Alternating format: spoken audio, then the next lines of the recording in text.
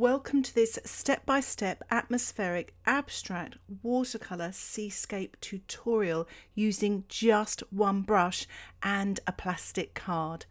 If you like this tutorial and you'd like to see more tutorials like this, don't forget to subscribe to my channel to get updates of my latest tutorials. So, shall we get started? This is the gorgeous reference photograph that I used to inspire me to paint this abstract watercolour and you can find a link for the photo in the description below along with a list of materials colour list and alternative colours as well and if you'd like to purchase any of them there are also Amazon links and Jackson's art supplies. I'm actually painting on Saunders Waterford rough paper 300 grams. It's 9 by 12 inches and it's on a block so it stops all that buckling and warping of the watercolour paper when you are working wet in wet. I'm using Schmincke Super Granulating deep sea green with a little bit of the Schmincke super granulating tundra blue. You can use instead some cerulean and ultramarine. At the top here I'm using tundra violet uh, but if you don't have tundra violet you can use Payne's grey or indigo. So I'm working wet in wet here tilting my watercolour paper and I'm just sort of painting these clouds in, leaving gaps. So you're getting these lovely atmospheric sky, working wet in wet. And the brush that I'm using is the Silver Brush, Black Velvet Brush, size 10 round brush. It's a brilliant brush. And I put some washi tape around the edge so I'll get a nice white border later. I'm using my spritzer bottle just to get the paint moving. And I actually did originally wet the surface of the watercolour paper paper with my spritzer bottle as well. So I'm using a plastic knife here, palette knife. It's a really cheapy little plastic knife. It came in a set for under two pounds. And I'm just painting this wet into wet where the rocks are. So I've wet this area of the rocks here and I'm using some M. Graham quinacridone rust, which I love, but you can use burnt sienna. And I've mixed that up with a little bit of the tundra violet and a little bit of the M. Graham turquoise, but you can use just a little bit of Payne's grey and perhaps a little bit of Prussian blue. And I'm using the tip of the knife to scratch in and sculpt these rocks. The paint is quite creamy and it's quite a wet surface and I'm literally putting paint straight from the tube. I'm not using pans, I've actually squeezed the paint out into these pans here. You could try to do this technique with pans, but it's a little bit tricky because you kind of need creamy paint. What I'm doing now is just getting everything moving, creating atmospheric effects. I'm spritzing now all of this dark paint to try and get some happy accidents, some interesting effects to create some nice abstract or semi-abstract work. I'm tilting to the side here as well. You may want some old rags on standby to collect all this paint here. But I love a bit of spritzing and tilting. You never know quite what you're going to get and it's just so much fun to do. So I'm painting wet in wet in my foreground there. I'm actually using yellow ochre, painting wet into wet, and I've dropped a little bit of the tundra violet in there as well.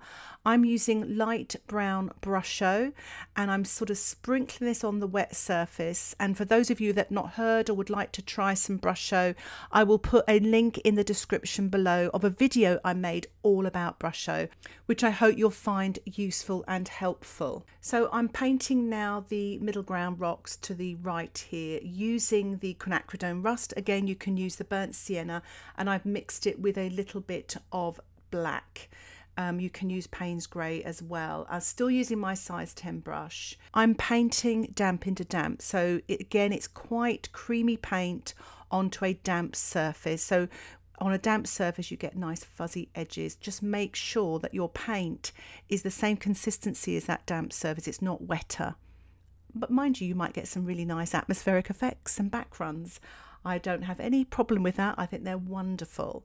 It's just knowing what will happen. So wet paint onto a damp surface will cause blooms, cauliflowers and backruns. So I'm just putting in this creamy dark paint with my size 10 brush and I'm also using a bit of the rust here in the foreground creating a little bit of perspective lines there so they're parallel lines that appear to meet on the horizon. So they're sort of merging together. So it creates a bit of depth in your painting. So i'm adding the same colors the quinacridone rust and the black but you could use payne's grey or indigo. I'm sprinkling on some sea salt onto the foreground there at the with the beaches onto the damp surface and i'm hoping that will create some light texture so I'm going to let that dry naturally. Meanwhile, um, the damp paint that I've applied to the rocks and in the foreground there, the quinacridone rust and the Payne's grey or black, I'm going to sort of lift off now with my card. For a bonus for my Patreon members, I've actually included a little section about how to use the card, lots of different ways. I've also included a tonal chart and also colour charts.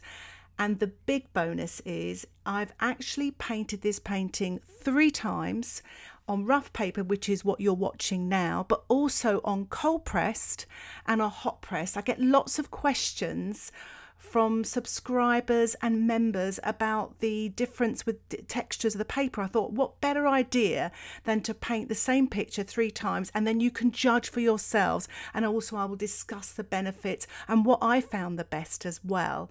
And at the end of this tutorial, you will actually see those finished paintings as well. If you are interested in the Patreon membership, details about that can be found in the top right hand corner of this video or in the description below. And please don't hesitate to ask me any questions. As you saw there, I've been spritzing, I'm lifting off with my palette knife here, my plastic palette knife, to create some lots of yummy atmospheric textures and details. I thought the um, hills here, the rocks here on the left hand side looked a little bit pale after that spritzing off. So I'm just adding a little bit more paint now with my size 10 brush, damp into damp, using the quinacridone rust, but you could use burnt sienna and I'm going to add a little bit of black, but you could use Payne's grey.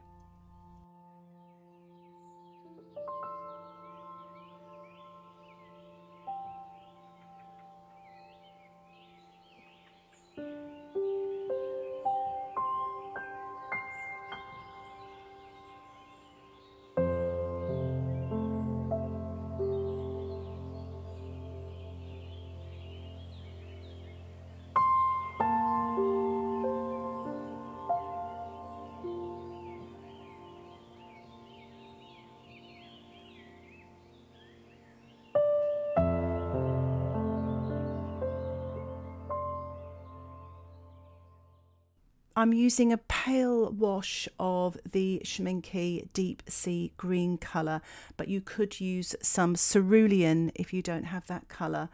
And I'm just using, still using my size 10 brush, sort of really sort of painting these distant land here. And as you can see on the right hand side, the, the paint's quite sort of almost a dry brush effect. So some parts of my painting are drying, but just make sure you don't introduce too much liquid into your painting.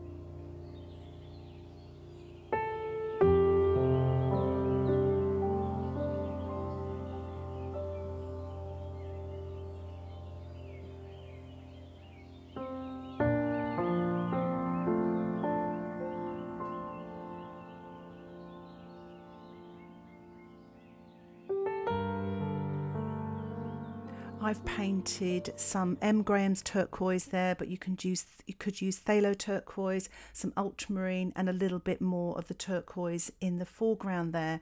I'm working wet into wet, but I thought just to kind of pale everything as it goes into the foreground, I'm just using my spritzer bottle to dilute this paint to pale it away. I'm adding a little bit more creamier turquoise here just to create a little bit more dark on the left hand side and on the right hand side. Just trying to get my composition a little bit of balance there using my size 10 brush working damp into damp.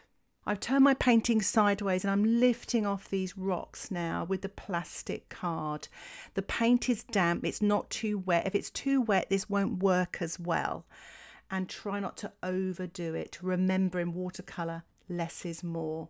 I'm just painting some details now in the foreground, working. You can work wet on dry or damp into damp here, whatever's happening with your painting and whatever you feel comfortable doing and I'm creating some textures and details using the card, using my brush and with a very dark brown. So it's the quinacridone rust and you could use black or Payne's grey. It's just to give a little bit of information here. You don't want to give too much details.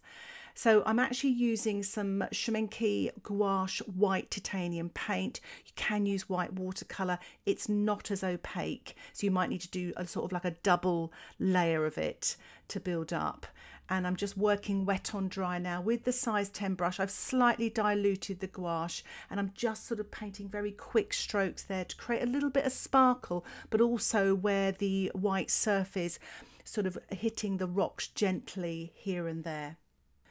I've watered down the paint a little bit more and I'm spattering again with my size 10 brush, really tapping the brush very firmly you may want to mask out your sky with some paper towel because you might have lots of white blobs in the sky. I've had lots of practice, but as you can see, it's all over the back of my hand. So make sure you protect things that are around you. I'm painting a little bit of shadow colour in the foreground just to sort of bring everything together now. And it's actually a very sort of dilute rock colour. And that was the quinacridone rust and the black. So really dilute that down. This is a good little test. I'm actually painting these birds with my size 10 brush, just trying to get a real point with this brush. If you do find this tricky, do swap to a smaller brush. But I'm just varying the size and the angles of these birds here using a little bit of the tundra blue, but you could use ultramarine with a touch of Payne's grey or a bit of burnt sienna, just like a grey blue colour.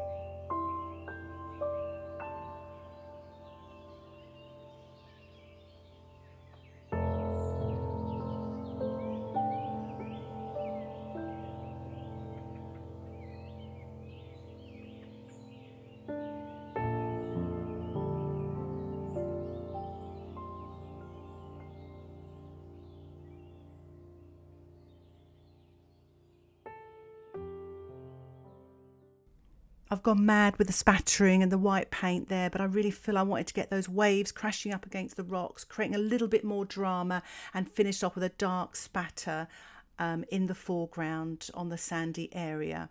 I really hope you enjoyed this tutorial and it inspires you to have a go at this wonderful photograph, keeping things really simple, even the colour palette really simple, creating this atmospheric abstract seascape tutorial. So this is a sneak peek at my hot press painting that I did. So using the same um, reference photograph, similar colours, similar techniques, and this is the cold press version. It's a slightly larger picture as well. Um, quite enjoyed doing this one on this paper.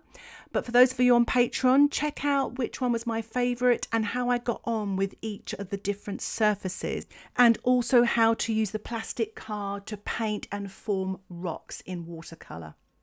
And that tutorial will be available to the Patreons on the 11th of June. Thank you so much for watching this tutorial. I really hope you enjoyed it. You know, using all the card techniques, the brush the salt, the spattering, the spritzing, you name it. It was all packed full of all these yummy techniques to create this atmospheric, semi-abstract or abstract seascape tutorial in watercolor. If you have any questions about this tutorial, please put them in the comments section below. And again, don't forget to subscribe to my channel for updates of my latest tutorials. And if you'd like to see the tutorials that are available on the Patreon membership, check out my website. Thank you again for watching. Happy painting. Bye for now.